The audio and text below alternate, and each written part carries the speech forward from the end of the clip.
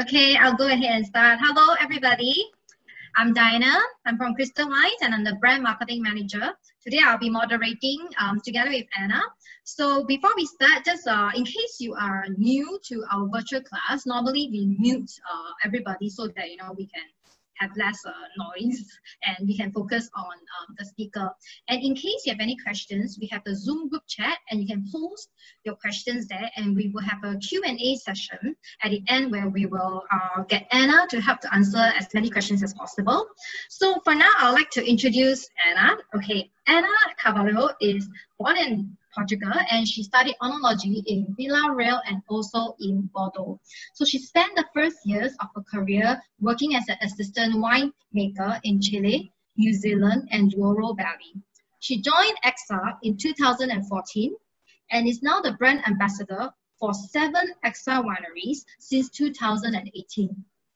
Today, she'll be sharing with us the top three wineries that we are focusing on, Chateau Pichon Baron and Chateau Suduiraut from Bordeaux and Quinta do Noval from Portugal. So um, without further ado, I'd like to pass to Ana for her to start her presentation and she will also talk a little bit uh, about herself. Yes. Hello, everyone. Good afternoon. It is morning for me and I'm very happy to, to show you this amazing set of uh, five wines uh, will go from white to red to port. So uh, interesting tasting uh, for everyone today. Um, as you said, I represent all the wineries of uh, which is a group of uh, exceptional vineyards. It's a French group that started investing in wine in the 80s. Uh, and nowadays has a, a, beautiful portfolio that goes from Bordeaux with wines at Chateau Pichon Baron in Pauillac, also Sauternes. Uh, we also have wineries in Hungary, in USA, uh, in Napa Valley, and of course in, in Portugal, where I'm originally from. Uh, as you also said, I started in production. I studied winemaking in my uh, first years, uh, already a long time ago, almost 13, 14 years ago. And um, then I moved on to communication. And nowadays, that's my focus. I do a lot of wine dinners, webinars since the, the lockdown started, uh, a lot of wine events overall. And of course, in 2020, these events have uh, online more than live. Uh, and we're all getting used to these uh, actually very fun tastings where we can still get a lot of close contact with you. Uh, do ask questions uh, at the end. Uh, and do not hesitate to also ask uh, technical questions. I'll be very happy to, uh, to answer those too. So on this first slide that you see, uh, you can see all the wineries of the Accent group. It goes, so on the top you see the beautiful castle of Chateau Pichon Baron.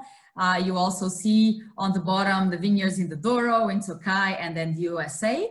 And what's better than a map on the next slide to show you exactly where our vineyards are. It's always helpful to see locations. So uh, today our uh, traveling will start in the Bordeaux area with Chateau Suduiraut in Sauternes, but we'll actually taste a dry white, even if this region is famous for uh, opulent, uh, botrytis affected uh, sweet wines. Uh, the, the, the other thing that is very interesting in the area is dry white, and that's where we'll start. We, you can also see on the map close to uh, Beaune, well, it's actually in, in Saint-Georges, we have Domaine de l'Arlot, uh, that also has vineyards in Romanée Saint-Vivant. Maybe we have some Burgundy lovers today too.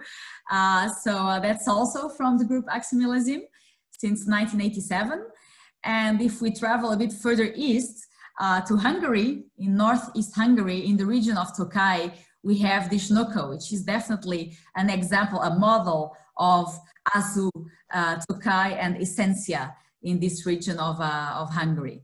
Then, uh, of course, in Portugal, uh, we have Quinta do Noval, which is the equivalent of a first growth uh, for the Portuguese uh, Douro Valley. It's the, the producer that is most respected in the world of vintage port. And today we'll taste vintage 17 at the very end of the tasting. And to finish with our portfolio of wineries, we also have outpost wines in uh, Napa Valley. It's actually in a, an AVA called Howell Mountain, uh, higher up in the, in the mountains, which gives it a bit of freshness and a very interesting spot for Cabernet Sauvignon. We are passionate about Cabernet Sauvignon at AXA because of course we have one of the best terroirs for Cabernet at Pichon Baron. And two years ago, we decided to invest also in Napa Valley uh, and acquire the 10 acres of uh, outpost that also specializes in, uh, in great Cabernet. So that gives you an idea of all the wineries of the group. Uh, and now we'll focus on the wines that we're tasting today. We can move on to the next slide uh, to focus on the Bordeaux region, where we'll start our journey. So you can see Bordeaux city, a bit in the middle. Uh, you can see Chateau Suduiraut close to Sauternes in the south of Bordeaux. It's about 45 minutes drive to the south. And you can see Chateau Pichon Baron and Chateau Pibran, another winery from our group, uh, close to Pauillac, inside the Pauillac AOC. And this is about one hour drive north uh, from the city of Bordeaux. As you can tell by the map, uh, Bordeaux region is influenced by two big bodies of water that are very important. The Atlantic Ocean, of course, uh, and the Gironde estuary. You can see the large estuary uh, close to Pauillac. And this estuary is formed by two rivers uh, that you see more towards the bottom of the screen, the Dordogne and the Garonne. And this is all very important because when you are near the water, you have temperatures that are more mild. You have uh, temperatures that are never too cold and never too hot. And that's really good weather for uh, viticulture. It also means that we are less sensitive to hazards like frost, for example. When you're close to the water, you're uh, much less likely to have problems with frost in spring than if you are in a very continental area, like for example, uh, Burgundy or uh, uh, in Germany. Some areas are very prone to frost. We are lucky in Bordeaux to be in between waters. Uh, and that really helps with the climate in the vineyards. We'll first focus on uh, Chateau Suduiraut, with the first white wine, that is uh, S de Suduiraut. So on the next slide, you can see a picture of the winery in Sauternes. This is our castle, our chateau. Uh, chateau Suduiraut is a very old property. Uh, we've been making wine on the same site, on the same place since 1580, so since the 16th century. Uh, and probably even before, but before that it was more of a farm. Um, we specialize, of course, in white varieties, Semillon and Sauvignon Blanc.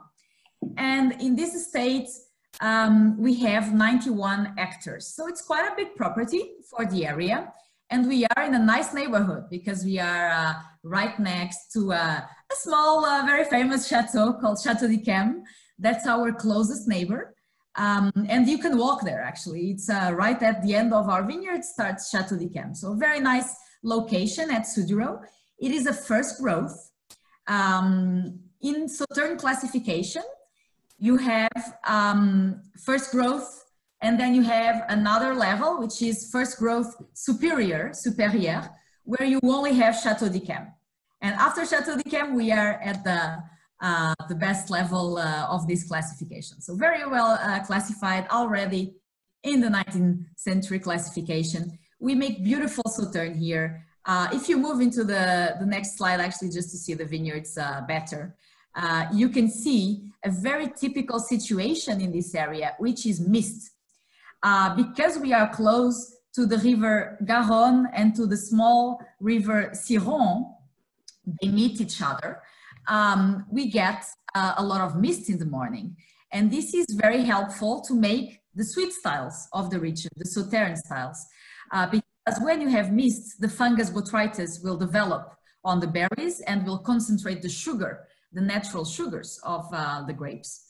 And so this area is naturally adapted to make botrytis style uh, sweet wines. However, um, already since the 90s, in this area, you have some wineries that are doing dry white uh, too, because you can have a very nice expression of Semillon and Sauvignon Blanc that is very different from the uh, type of wine you have in um, Pessac Léognan or Entre-Deux-Mers. So you get another uh, style of Bordeaux white, of Bordeaux Blanc. when the wine is not uh, sweet in Sauterne, you cannot call it Sauterne. So on the label, you have the samples, which are very cute. Um, on the label, you can see that it doesn't say Sauterne. It just goes into the Bordeaux white uh, classification. Um, we make this with the same varieties as Sauterne, but of course, uh, we use berries that are completely healthy and very ripe. Uh, on uh, the next slide, you can see the difference between uh, the grapes that we use for Sauterne and the grapes that we use for dry white. Um, for the dry white, for this one specifically, we picked very early in September. Uh, actually, the one you are tasting 2016, I checked, and the grapes were picked in only two days. So you're tasting the result of uh, two days of harvest, the 7th and 8th of September 2016. Um, and we pick early to make sure that we don't have the fungus yet. We have very healthy grapes that are very ripe uh, and uh, of course rich in sugar and aromas, but not shriveled. To pick for the Sauterne, we wait uh, much longer into October and some years, even November. Um, you always have to be very patient to make the sweet styles. Uh, and we pick the bunches berry by berry or parts of bunches uh, that look like the one you see on the other picture where you have a lot of fungus and the, the bunches are very concentrated and shriveled. So that's the main difference. To ferment and to age the dry white that you are tasting, don't worry, I can uh, I can do with the barrel too. Um, we uh, ferment and age in barrels. That's why we uh, I wanted to show you one. So as the Suduiraut is a very ambitious, uh, complex white. It's not a, a style that is the crisp, easy drinking. It's all about complexity and creaminess on the palate. And to achieve that, we ferment and age in French oak. Uh, for nine months, it stays in the barrel, but we try uh, to, of course, not have too much uh, oak influence. That's why it's only nine months, and that's why it's only 20% new oak on the S de Suduiraut. We just want the barrel to give it a texture that is very interesting on the palate and that you'll taste now the first wine uh, of today. I've poured already. I used the Coravin to uh, save to save my, my bottle. Um, so if you move, I'll give you some time. If you move into the, the first bottle of the first sample, you'll have S de Suduiraut, Old Vines 2016. That's what I have in my hands. And you can move to the next slide, Next please. one, yeah that you can see the blend at the same time as I'm explaining. So uh, in this case, we have quite a classic blend for this region, 56% Semillon and 44% Sauvignon Blanc. But the star here really is the Semillon, and that's what marks the wine the most. Semillon gives you um, wines that are quite big for a white wine, uh, quite opulent, creamy, and actually with aromas that go more into the pear aromas uh, and a bit flower, uh, white flowers too. Whereas the Sauvignon Blanc, as you know, uh, from Sauvignon Blancs of all over the world, uh, it's a very um, tropical, uh, sometimes a bit uh, gooseberry, very aromatic um, type of grape variety um, which is present here, uh, but only 44%. And in our soils, it's actually a more restrained style of Sauvignon Blanc. You will never get that very uh, passion fruit Sauvignon Blanc that you get in, uh, in New Zealand, for example. You'll never get it in, uh, in Bordeaux. You'll get a much more restrained, subtle uh, aromas at, uh, at the Sauterne terroir. Why? Because we have different weather, of course, but also because our soils are made of gravels, uh, small stones brought by the river, mixed with sand. So that's the soil at, uh, at Chateau Suduiraut. Let's taste.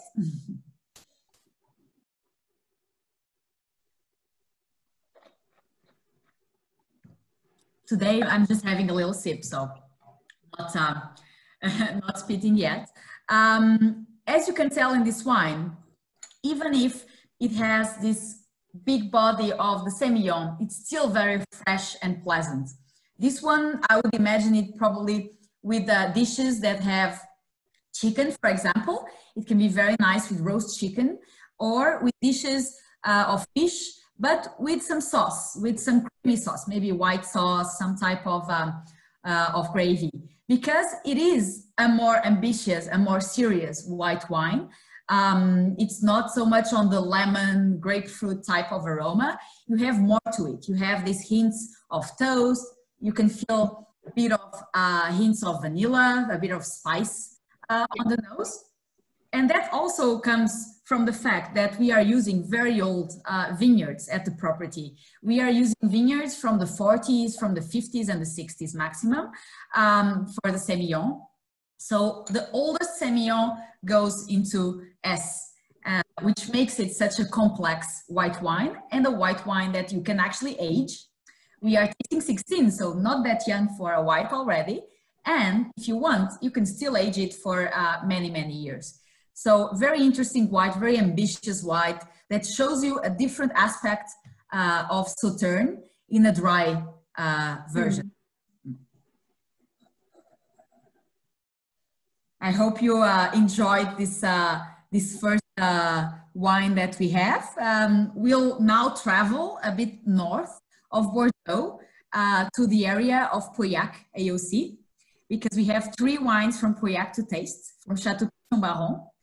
We have, of course, our top wine, Chateau Pichon Baron, but we also have our second labels. I'll show you the bottles because you have the, the mini samples. I want you to see the, the full size.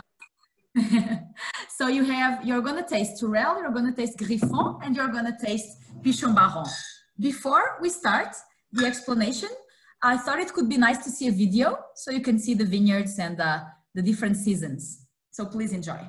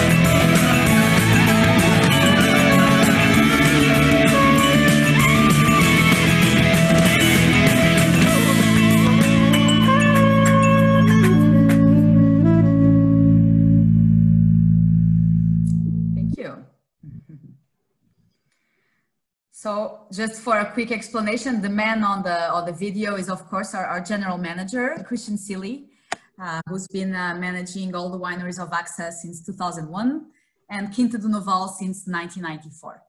Uh, he's actually British, but uh, he moved to Bordeaux a, a, long time ago. He, he says the food is better in France, so uh, he's a, a gastronomy refugee, as he likes to say. a very fun man too. I hope one day you can uh, you can maybe uh, see him at a tasting in Singapore. Um, so the other uh, person on the on the painting actually that uh, that you saw that was winking uh, the eye, that's the Baron of Pichon Longueville. So the name of our uh, of our winery, uh, Pichon Longueville Baron, Pichon Baron as we say, comes from the seven generations of barons of Pichon Longueville that we had at the property. Pichon was created in 1694 um, and it stayed in the same family for many generations. Uh, and later, of course, uh, in the 1930s, they, they sold uh, to a different family, the Bouteiller, and uh, this family sold to AXA Millésime in, uh, in 1987. Uh, what we did when we arrived at the, at the, property of course, to keep this great heritage, this great history, and invest in renovating the cellars, the buildings, and uh, also uh, restricting the amount uh, of wine made and making it better and a more strict selection that you can see in the result of Pichon Baron nowadays. On this beautiful picture, you can see, of course, our Cinderella castle. we are lucky to have a Renaissance uh, style uh, 19th century castle that we use today as our offices. We are very spoiled. We get to work on the on the top floor of the of the castle every day. It's a lovely place to, uh, to work. Um, and we also do dinners uh, and lunches there for uh, private uh, VIP customers. Uh, on the building next to the castle is where we actually have our uh, vinification room that you saw quickly on the video. I'll show you a few more pictures later. And you can also see the water mirror um, that reflects the image of the castle, of course, uh, a very beautiful feature that we added in 2007. But it also plays a role because underneath the water feature, the little pool you see, we have our barrel room. So it helps keep humidity uh, and a nice temperature uh, underground. So it's both uh, for aesthetics, but also uh, because uh, it helps us with, uh, with the humidity keeping. Um, for Pichon Baron, welcoming guests is, is, very important and actually this is one of the first chateaus in, in Bordeaux that open its doors uh, to wine tourism. We do um, private visits and tastings all along the year, even on Sundays and public holidays, and that's very rare in France. So uh, imagine how important it is for us um, to, to welcome our guests well. Um, and we receive around 11,000 people per year nowadays uh, at Pichon Baron, uh, just for the private visits and, and tastings. So it's quite a, quite an impressive number. Uh, we recently, last week actually, uh, we were talking before we started the meeting.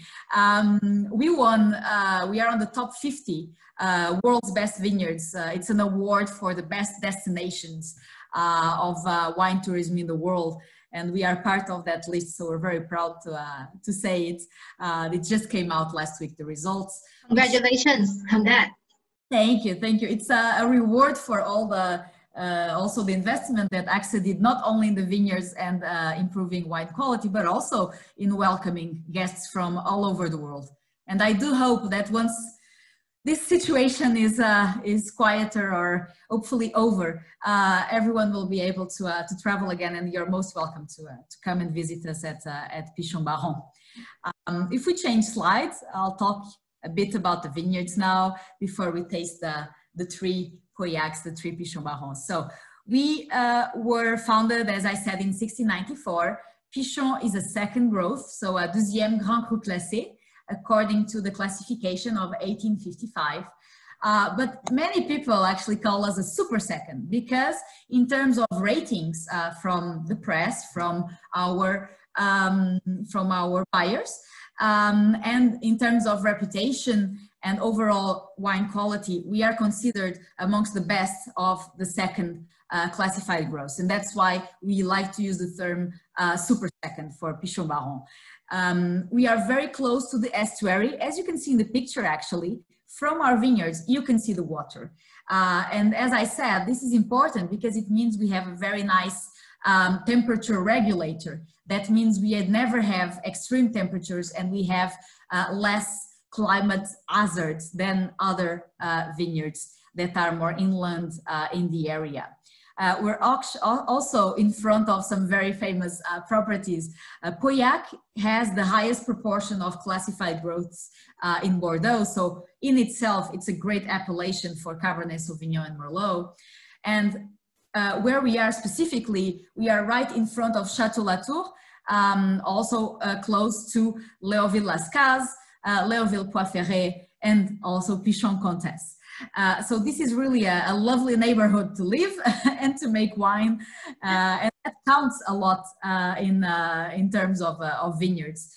we have 73 hectares, which is a normal size for this area. You have some wineries that are a bit bigger, some that are slightly smaller, but this is the average size for classified growth in um, in Pauillac. Mm -hmm. And um, in terms of varieties, Cabernet is king here. So uh, that's the majority of our plantings. We have 65% Cabernet Sauvignon, 30% uh, Merlot, also very important in our blends, and just a little spice of Cabernet Franc and Petit Verdot, very small amounts to give the wines a bit of uh, spiciness. Uh, mm. So if we move on, uh, you'll see, oh, can you change please uh, the slide? You can see the view uh, from the main uh, route, uh, so the road that we take when we drive from Bordeaux to Pauillac. This is where you, um, the first thing you, you see from the road. This is the, the D3, uh, also called the wine, uh, the wine road of, of Bordeaux because it, it goes through some of the, the best chateaus in the region. And here you can see a vineyard that's very important to us, which is our historical plot. Uh, right next to the road and with the walls around it, next to the chateau too. Uh, this is the site that was already producing wine in the 19th century when we started. This is where we have the oldest vines of Cabernet Sauvignon uh, in our vineyards.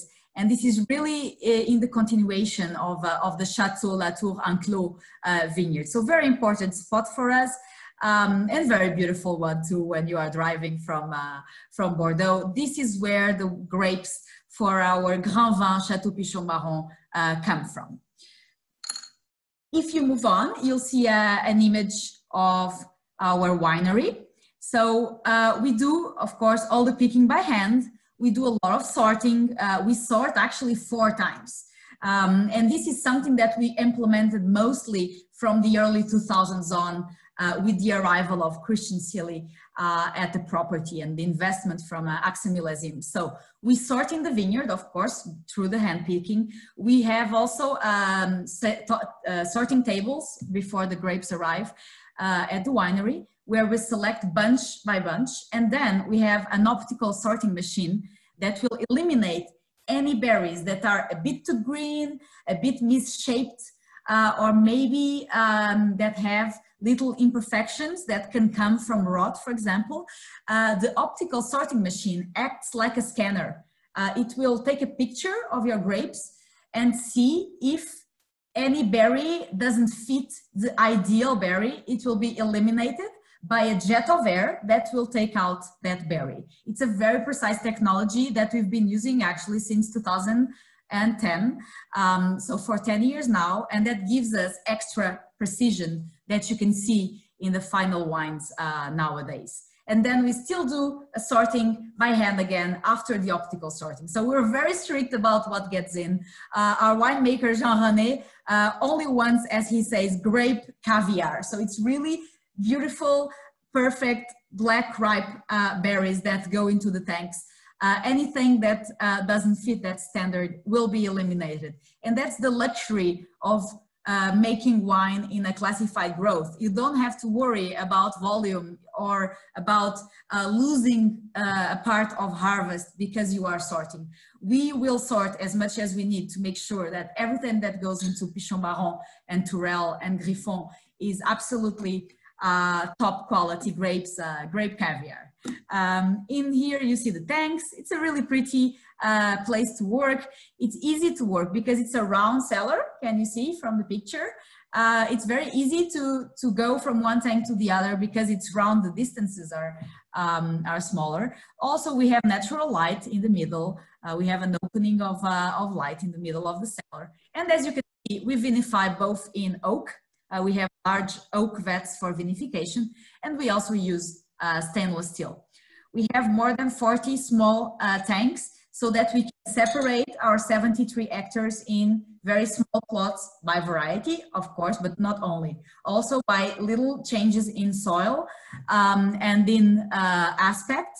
Uh, so we really try to vinify plot by plot in very small batches and we only blend later once the wine is in barrel. That's very important to not lose information too soon. You want to respect the, the personality of each little plot of vineyard and only later uh, making the, the marriage, making the wedding. so now I think it's time for us to taste as we, we do have a, uh, a few more wines to, uh, to try. We will start uh, with Tourelle. You can keep the map because I want to tell you something uh, with the map. Um, Tourelle is this one. So the, the first red sample that you have, this is our beautiful second label that we've been making since the 1980s. Um, very special for our winemaker Jean-René Matignon.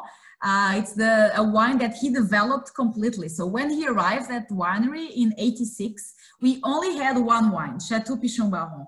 And he was the one who created this cuvée, so it's very special for him. And also his wife picked the name. So it's a, a bit of a romantic story behind the wine too. Um, it has a lot of meaning. He's been at Pichon Baron since 1986. Uh, so he knows our vineyards and our wines by heart.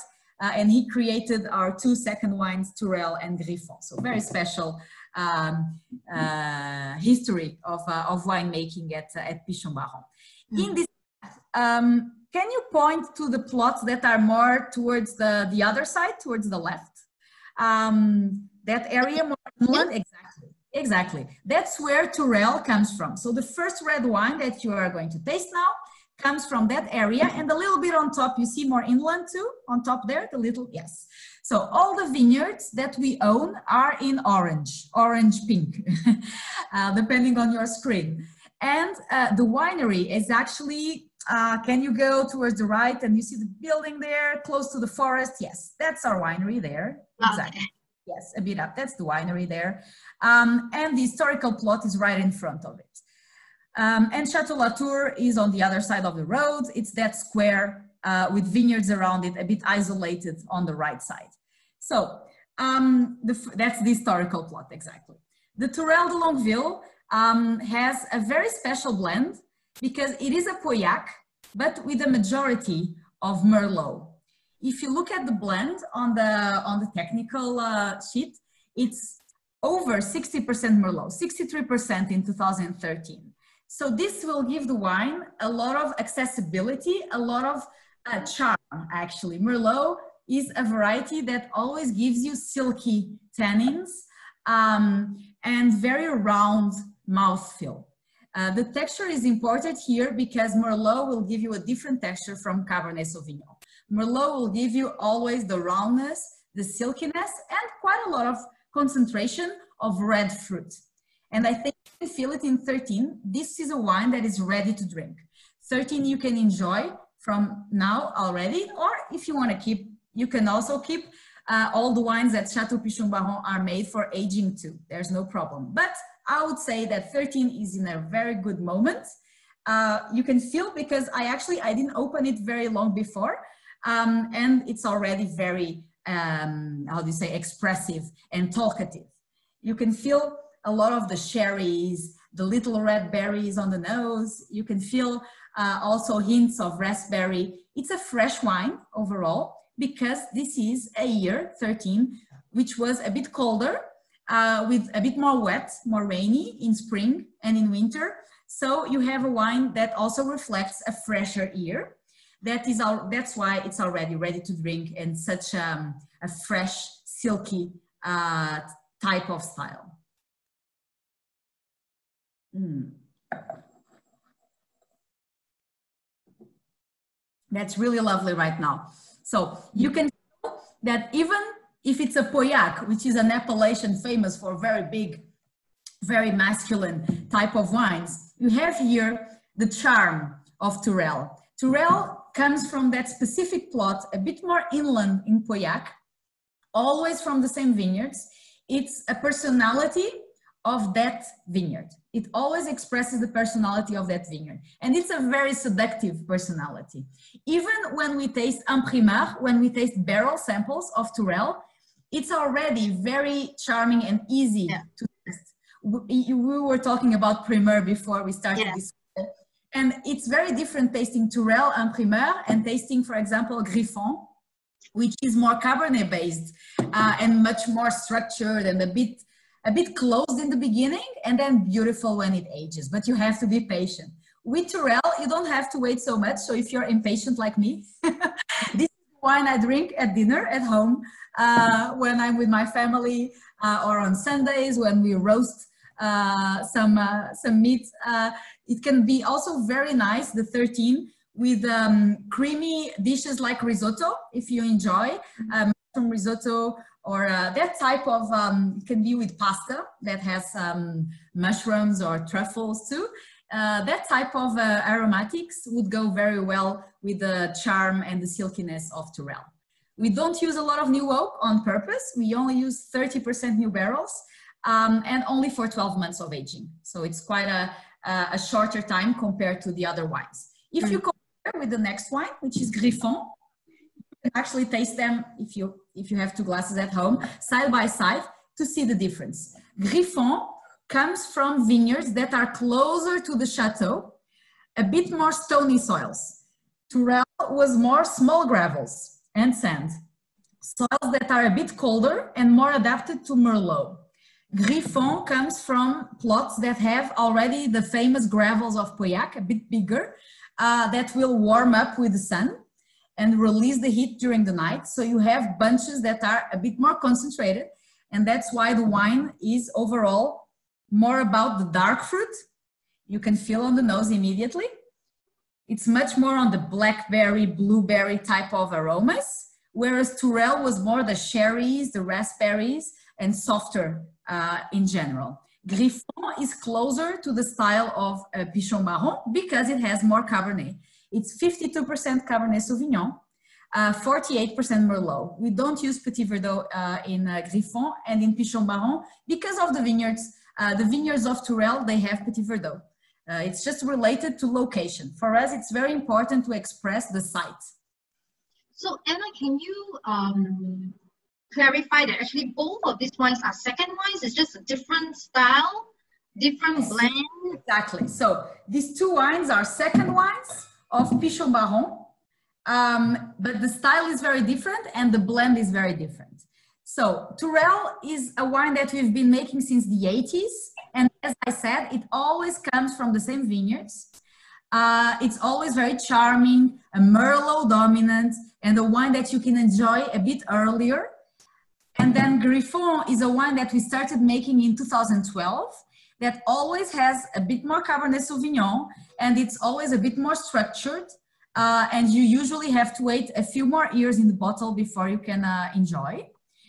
Uh, I would not say one is better than the other. I cannot choose. They're just uh, very different styles because they don't come from the same uh, plots and they don't have the same blend. Uh, it's like two children and they have different personality. Different children, exactly. I would say maybe this is a more well-behaved lady. okay, and the other is a a more uh, rebel girl, a more, a more rebel. Masculine boy and a girl version. yes, it's just a very different styles. With Griffon, we also do a bit more time in barrel. We do 18 months mm. and more new oak. We use 60% uh, new oak. So whereas in the other wine, uh, it was more fruit forward and more red fruit forward um, with still a little bit of spice, uh, in Griffon, you have that darker uh, black pepper on the nose that is very typical of Pauillac uh, wines. Mm.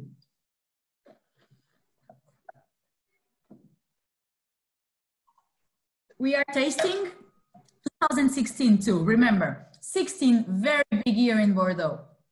It's a year of uh, very balanced weather. We had very high sunshine, but the weather was not too hot.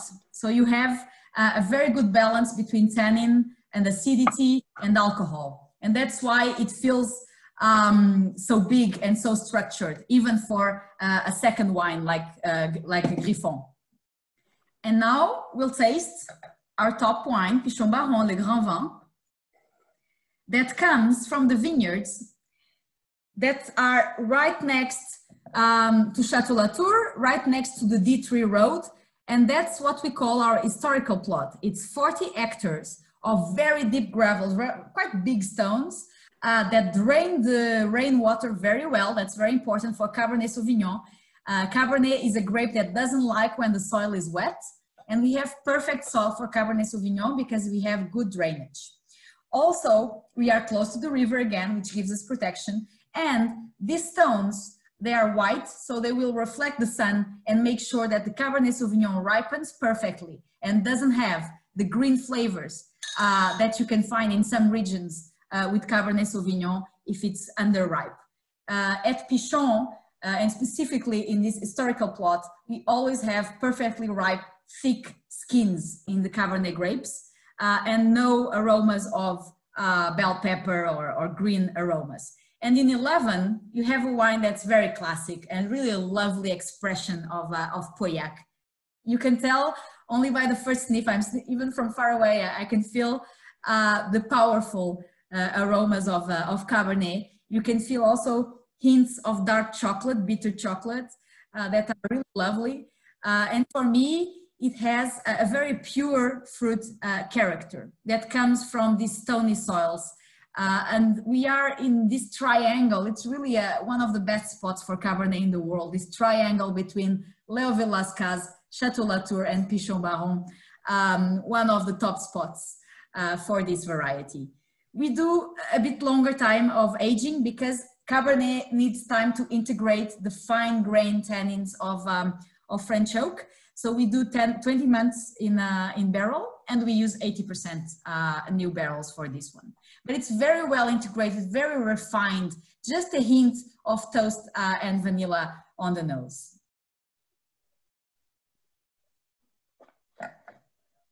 And what I'm really finding interesting when I'm tasting 11 this year is that oh, it was a year that started a bit austere. When the vintage came out, uh, people were saying, well, it's classic Pauillac, it's, uh, it's, it's, high quality tannin, but it's quite, um, how do you say, a tight wine. It was a bit shy. It didn't want to talk too much, uh, a bit austere. And now uh, 11 is proving that it just needed time in the bottle. Uh, it's almost 10 years of age, which is a great moment to open a bottle of, of Chateau Pichon Baron after 10 years of age. you can start to feel the mellow tannins uh, that are starting to soften and the aromas are much more expressive now and you can really get that very pure fruit uh, of, uh, of Pichon Baron. Very full bodied of course, this needs a, a, nice red meat or duck or lamb to go with it uh, and very long finish. It's a wine that stays, stays, stays. I think you'll feel it for a long time. we're gonna uh, later uh, move into into port and uh, and Quinta do Noval. But before you'll you'll see a video of Quinta do Noval, and I'm sure. Oh, Anna, we have to take the mandatory photo of everybody. Ah, yes. so uh, it's mandatory. Yeah, so um, Cheryl, can we have the full screen for everybody? So um, okay, so we would like uh, everybody on your video so that we can actually take a picture of all our participants. Uh, we usually post this on the Facebook and Instagram, so if you follow us, Good you'll idea. be able to see this on our IG stories. Yeah. well. So uh, video and on the count of three, please raise your glass if you have a sample, and then we will take the group photo together. Okay, one, Santé. two, three. All right. Okay. Thank you. yeah, we can so much. to the Quinta do Noval um, video. We are traveling to Portugal now. yes, we have moved to Portugal.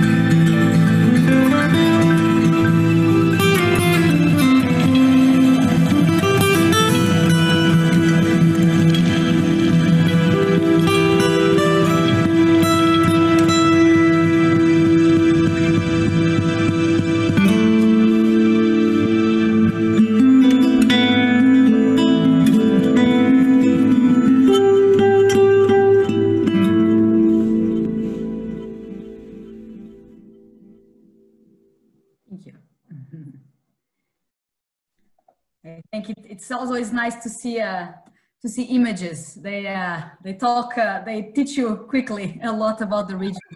Um, you could see again our general manager Christian Seely, uh, and also the, the the chief winemaker of Noval, Antonio Agrellos, uh, for many many years.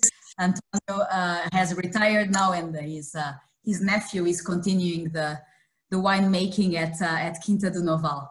Uh, this is, of course, a very special place for me, being uh, Portuguese, even if uh, I studied and lived in France for, for many, many years. Um, the Douro is, is very special because it is uh, the largest mountain viticulture area in the world. As you can see on the, on the picture, uh, we are working in, in the mountains with very steep uh, terraces at altitudes between um, 50 and 500 meters. Uh, some people even have uh, vineyards up to 700 meters um, of height. So it's a, a very uh, difficult conditions for, uh, for working the vineyards. It's a very warm, hot area too. I think you can almost feel the, the heat uh, from the picture, but different from uh, Singapore hot because it's, it's very dry. So we can have many months, sometimes four or five months without uh, almost any rain. And still, we don't use irrigation um, because we are lucky to have uh, schist soils that keep the water uh, inside and uh, the, the vineyards um, on these schist soils can dig deep because the rock is easily broken. You can break schist quite easily, uh, this type of schist uh, that we have in the Douro. And the, the, the vineyards can go deep and, uh, and get the water they need even during the hot uh, summer months. So that's very important. The soil that we have in the Douro, the mother rock is schist.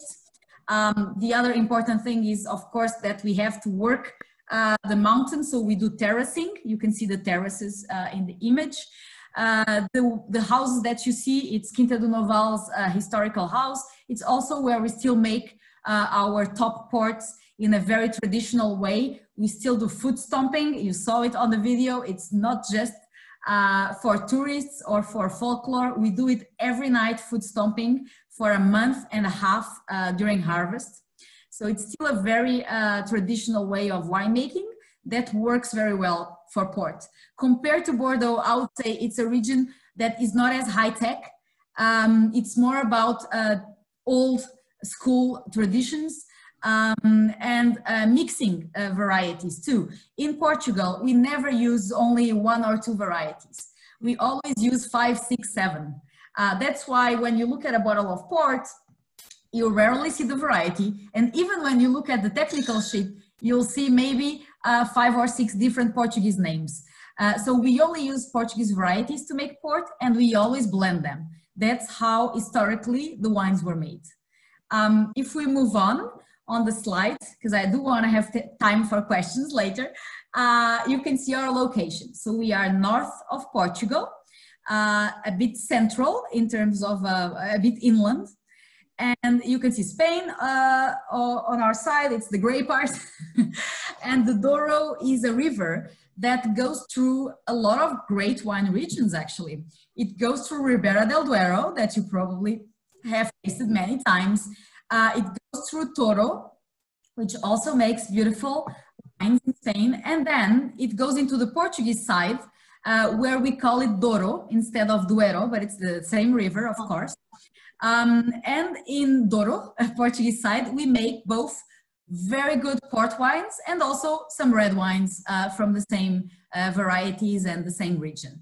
This river joins the Atlantic Ocean in Porto City and the city gave name to the wine. So the wine is called port, but actually it is made a bit more inland, about one hour drive, one hour and a half from Porto, in the vineyards of the Douro Valley that you saw on the images that are very steep and in the mountains.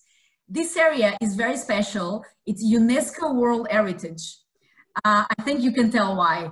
Uh, because to make our vineyards, it requires a lot of uh, work by hands. It requires a lot of effort.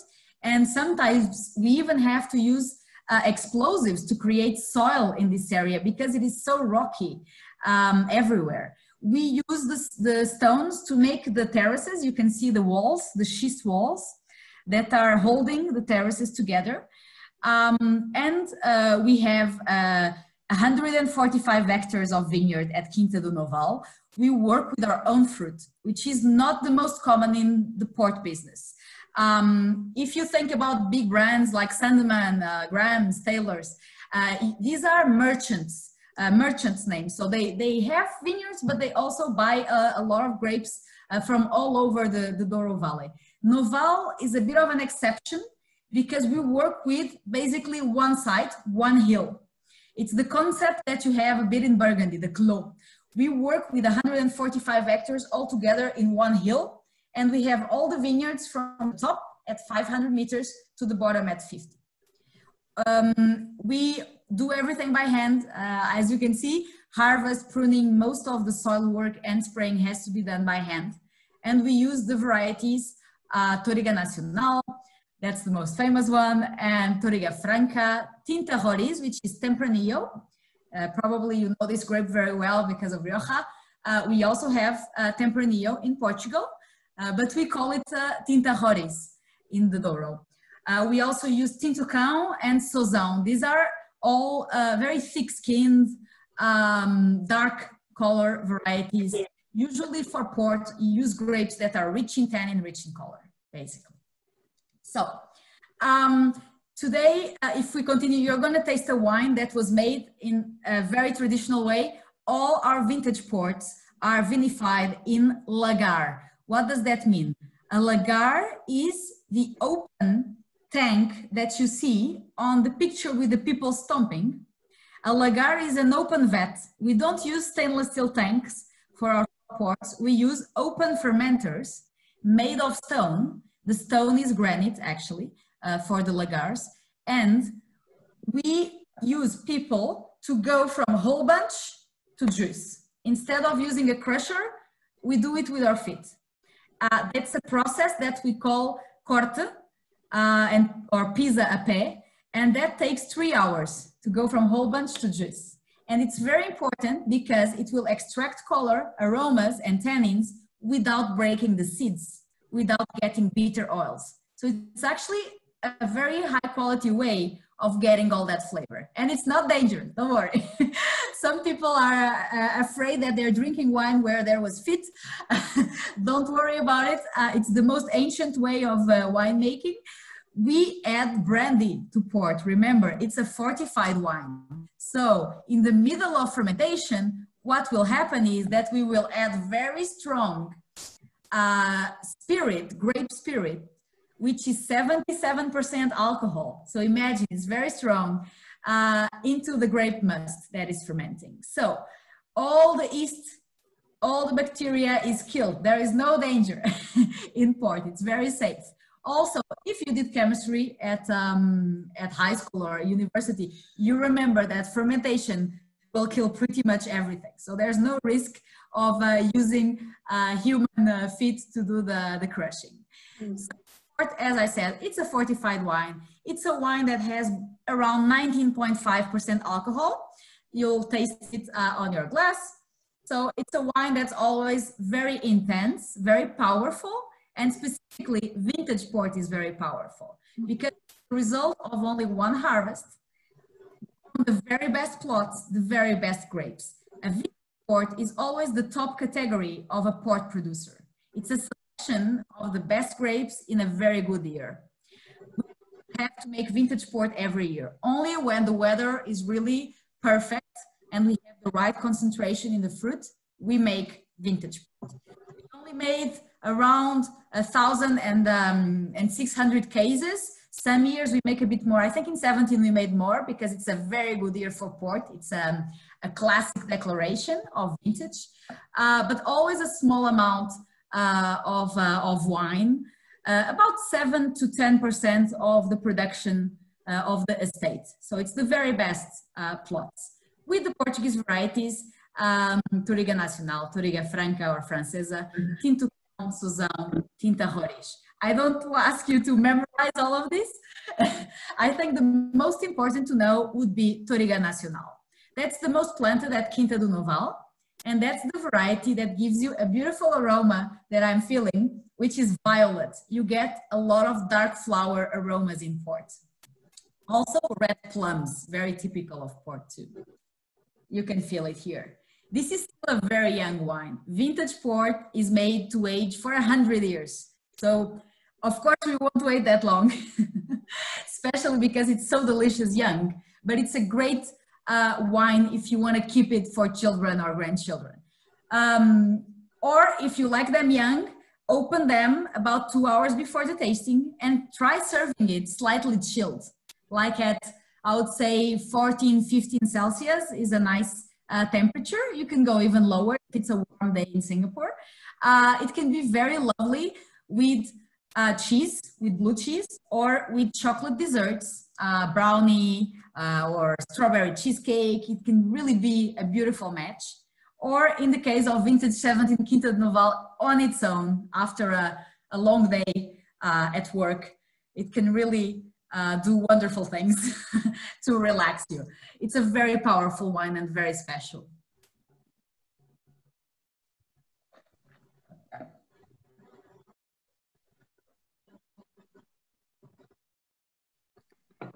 As you can tell, a bit higher in alcohol. It is a fortified wine.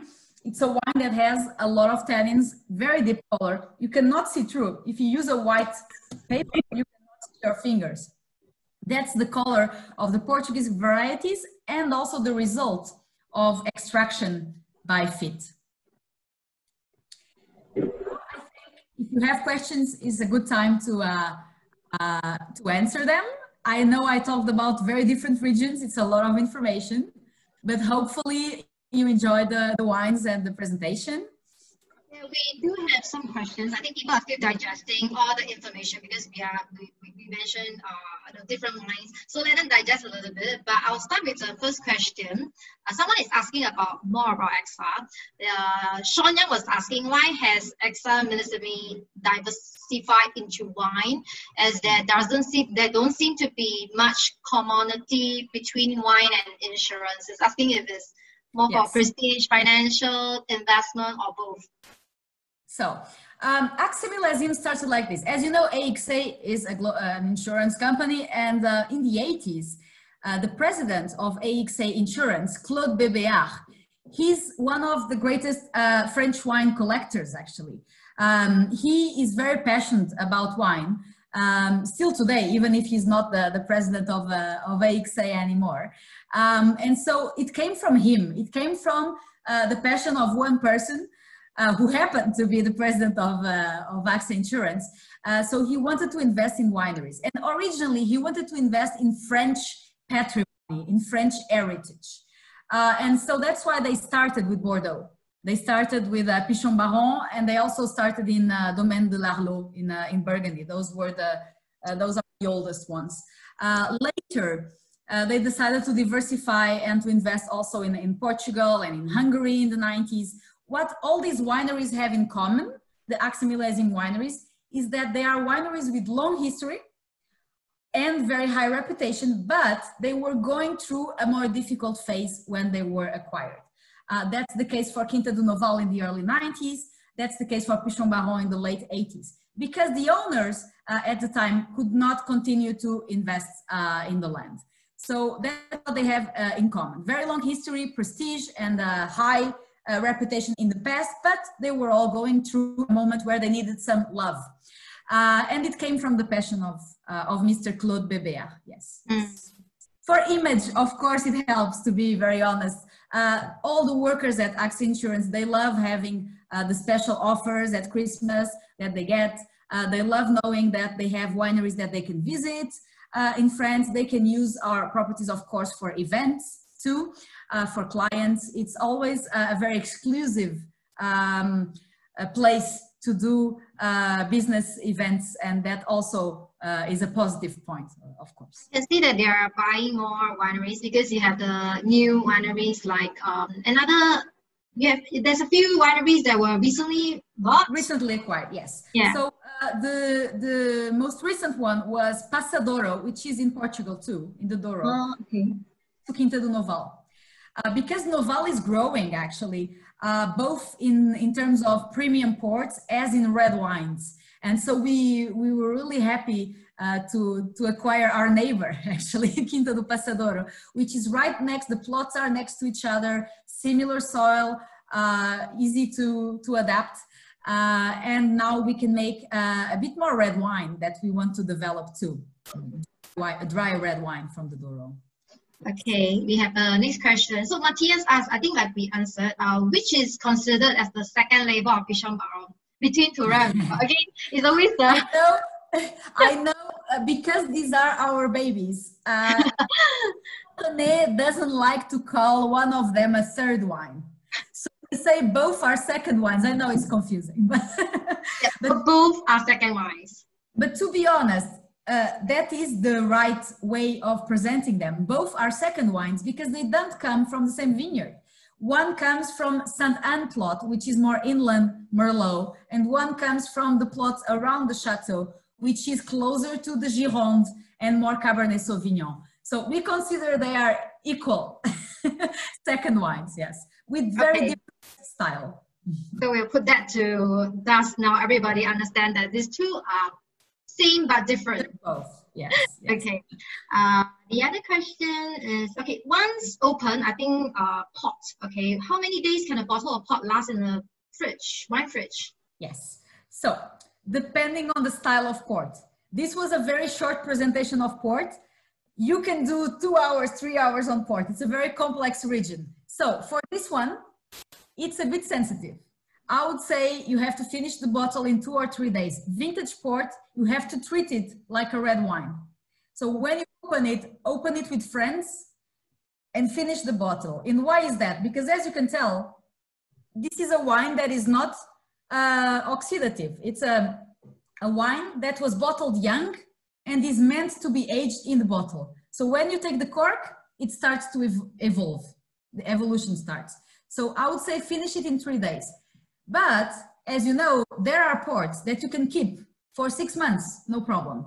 Those are the tawny ports. Uh, so buy a 10 year old tawny, a 20 year old or a 40 year old tawny, no problem. Because tawny is a style of port that is aged in small barrels um, called ca uh, casks, port casks.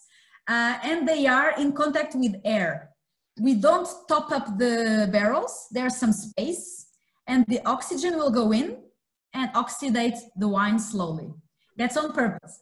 We do that for tawnies to achieve aromas of walnuts, toffee, caramel, and a very light brown color. So if you buy a vintage port, you'll always have this dark, uh, concentrated, beautiful uh, chocolate feel. And if you buy a tawny port, you'll have a wine that is orange brown in color and that smells like dry fruit uh, and toffee. And those wines are very resistant after opening. Uh, we sell them a lot in restaurants, for example, because they can do by the glass, they can sell them by the glass and not worry about what will happen to the rest of the bottle. So yeah. are nice if you're just drinking one glass uh, and you should serve them chilled. And sport is great when you have a group of five, six friends and you want to uh, have a, a, good time and no, uh, not in a hurry.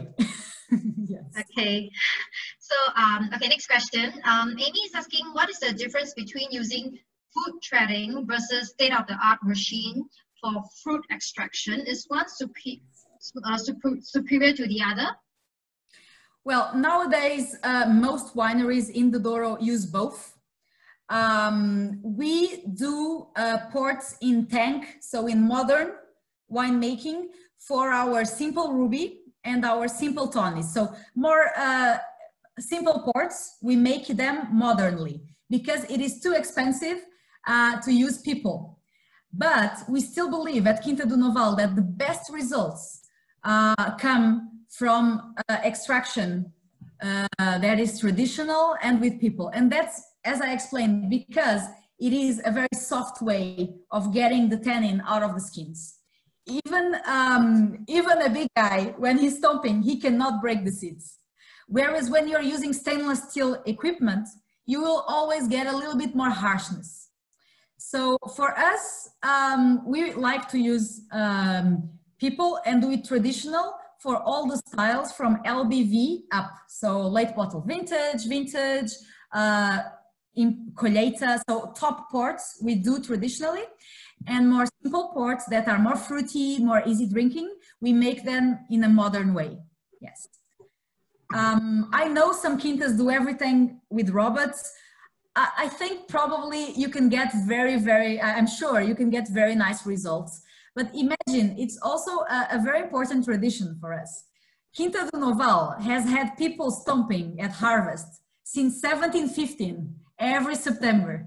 So it would be very sad uh, to say that in 2000 and imagine 21, we stop it would be very sad. So for us, it's also because of uh, sociology. mm.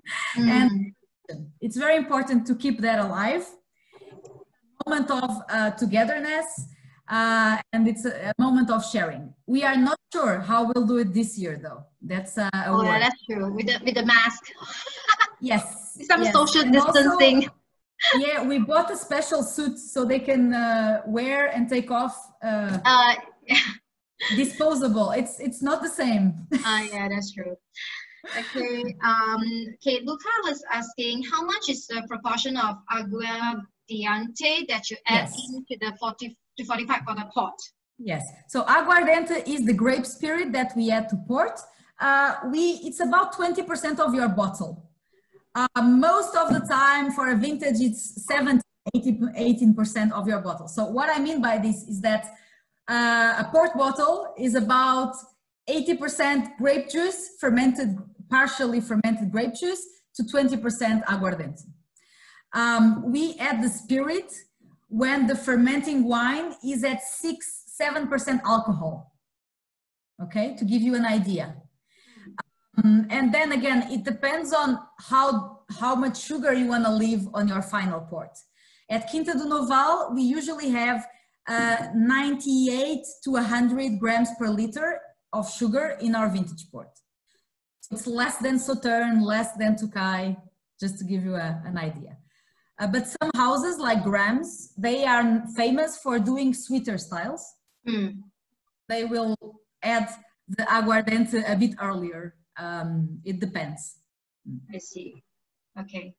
Um, okay. Really has a question. He said that um, because we carry the uh, white port as well. So ah, um, can you explain how do you make a white port and if you have a pink port? Okay. So we don't make pink uh, I would consider, I would describe Quinta do Noval as a very traditional producer. Uh, and Pink Port was introduced in 2009 uh, Croft, by the brand Croft. And it's a fun style, but it's not something uh, we are doing. Uh, not, not yet, and I'm not sure if we will do. It's mostly used in cocktails uh, and served on ice. it's, it's a fun thing, but it's, it, we have all our vineyards are classified with the A letter, which is the top quality for port. That means we can basically make vintage almost every year, and it means we are very well located.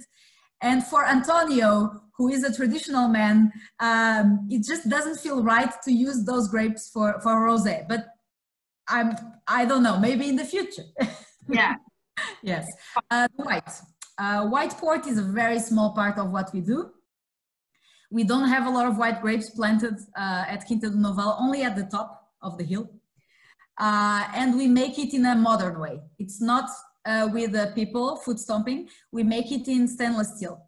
Because if you tasted our fine white and our extra dry, I'm sure you have, Diana, uh, it's a very light in color, so it's not oxidized, uh, and very lemon, uh, lemon white flowers, grapefruit type of flavors. So we try to do a very crisp uh, modern white port. Yes. Okay, uh, we have a last question. Um, it's from Stephanie. Uh, hi Ana, any insights on the trend in Douro? Uh, dry still wines getting more popular and why? Yes, they are. They are. it's actually a very uh, exciting moment for dry reds. Um, even if Quinta Noval is still nowadays almost 80% port, the production, and 20% red wine, a little bit of wine. Um, it is growing, and in Portugal, in the local market, the Douro is considered as the best region for red wine.